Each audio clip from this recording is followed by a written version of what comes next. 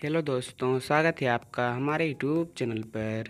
तो इस वीडियो में हम आपको बताने वाले हैं कि अगर मोबाइल का कैमरा ऑन करने पर फ्लैश लाइट बंद हो जाता है तो कैसे हंड्रेड परसेंट सही करें?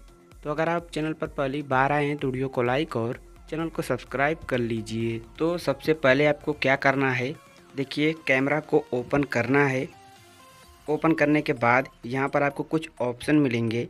तो आपको गाइस सबसे ऊपर एक ऑप्शन मिलेगा, देखिए इस प्रकार का, यहाँ पर आप देख सकते हैं।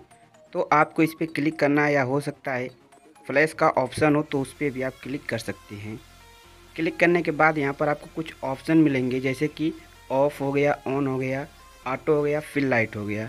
तो गाइस, आप अगर यहाँ पर ऑन पे क्लिक करेंगे या ऑटो पे क्लिक करेंगे तो अपने आप लाइट ऑन होगी, फ्लैश लाइट चालू होगा।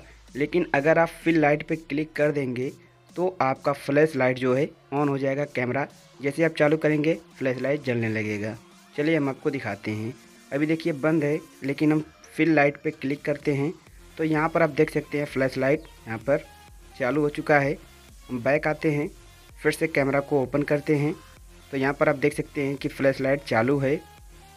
तो इस तरीके से आप भी कर सकते हैं। गाइस, मैं आपको फिर से बता दूँ, आपको ऊपर यहाँ पर एक ऑप्शन मिलेगा। फ्लैश लाइट का या फिर इस प्रकार का आपको इस पर क्लिक करना है और यहाँ पर फिल लाइट का ऑप्शन है या फिर ऑन ऑफ़ का तो आपको इस पर क्लिक कर देना है। क्लिक करने के बाद जब भी आप कैमरा को ओपन करेंगे, चालू करेंगे तो फ्लैश लाइट ऑन रहेगा। देखिए यहाँ पर चालू है। और यहाँ पर मैंने एक फ़ोटो क्लिक किया। यहाँ पर आप देख सकते हैं फ्लैश लाइट चालू था। उसी से फ़ोटो यहाँ पर क्लिक हुआ है। तो इस तरीके से आप भी कर सकते हैं। काफ़ी आसान है। या फिर आप इतना करने के बाद अपने मोबाइल को एक बार स्विच ऑफ़ करके स्विच ऑन करना या रिबूट या रिस्टार्ट करना तो 100 परसेंट वाली प्रॉब्लम सही हो जाएगी। तो आज के बस इतना ही। वीडियो को लाइक और चैनल को सब्सक्राइब कर लीजिए। एक प्यारा सा कमेंट भी कर दीजिए। Thank you